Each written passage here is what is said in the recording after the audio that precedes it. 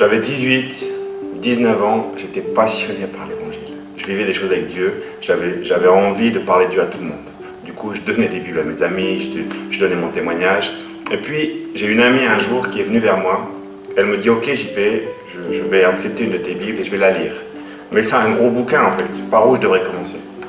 Puis je lui dis, euh, très sûr de moi, je lui dis écoute, commence par le Nouveau Testament, euh, lis Matthieu. Euh, et puis dans ma tête, je me dis bah, c'est bon, elle va lire la Bible, elle va voir la vérité, elle va se convertir, merci Seigneur. Elle revient une semaine plus tard, furieuse, furieuse. Elle me dit regarde, JP, ce que j'ai lu dans Matthieu. Je dis qu'est-ce que tu as lu? Regarde ça, Matthieu 10, 34. Ne croyez pas, c'est Jésus qui parle. Ne croyez pas que je sois venu apporter la paix sur la terre. Je ne suis pas venu apporter la paix, mais l'épée. Elle me dit comment Jésus peut dire ça? Comment Jésus dit qu'il n'est pas venu apporter la paix, mais l'épée? Et j'ai regardé, j'ai regardé ce texte et j'ai pas su quoi dire. Je suis resté bouche bée, elle est partie. Et c'est resté dans ma tête. Je fais Seigneur, tu as vraiment dit ça? Pourquoi tu as dit ça? Et c'est resté, j'avais 19 ans à l'époque, j'en ai un peu plus maintenant. J'ai vu d'autres choses de la vie et je comprends ce texte. Et c'est ce texte que j'aimerais vous expliquer ce matin. Mais avant ça, j'aimerais juste mettre un contexte de la vie chrétienne. Tout d'abord, quand je me suis converti, Dieu m'a rempli d'une grande paix, une paix intérieure incroyable. Je sais où je vais quand je meurs. Je sais qui dirige ce monde. Et tout ça, ça me donne une paix incroyable.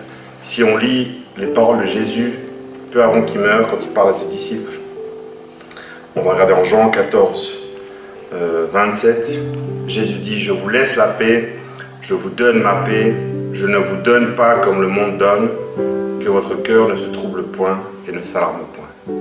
Le Jésus que je connais, c'est un Jésus qui donne une paix intérieure.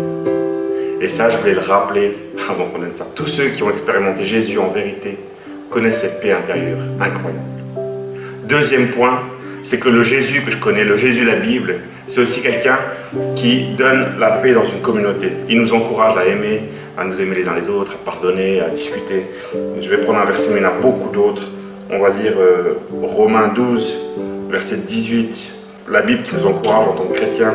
S'il est possible, autant que cela dépend de vous, soyez en paix avec tous les hommes. Jésus veut la paix, la paix intérieure, la paix groupe. Cependant, pourquoi ce texte est écrit? Pourquoi ce texte que Jésus n'est pas venu apporter la paix, mais l'épée 2 Corinthiens 2, 15 à 17.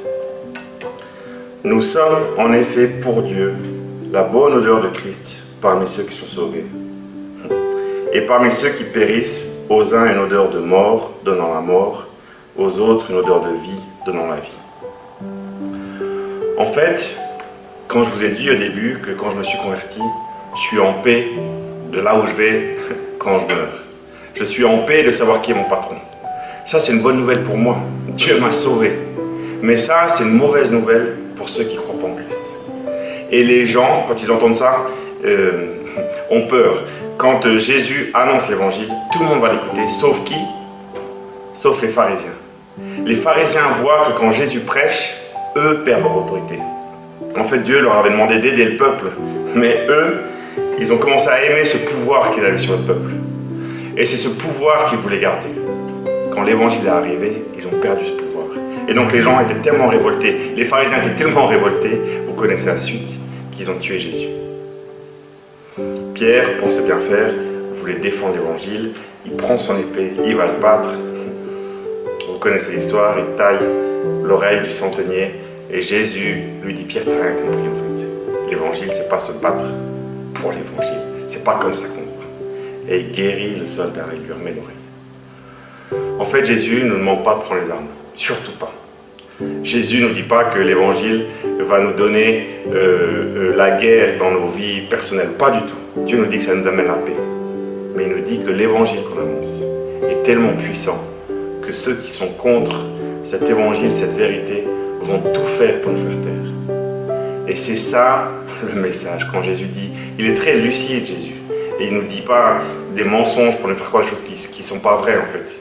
Il nous dit, ce message va vous libérer Mais en même temps, des forces vont se battre contre vous pour vous faire taire. Mes frères, mes sœurs, ce matin, j'aimerais vous encourager. L'évangile qu'on a, il est puissant. Et beaucoup de gens essaient de vous faire taire. Mais Jésus a vaincu l'amour.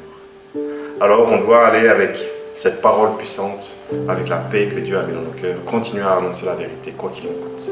Parce que d'autres personnes ont besoin d'être libérées des chaînes du mal. Que Dieu nous aide chacun. Amen.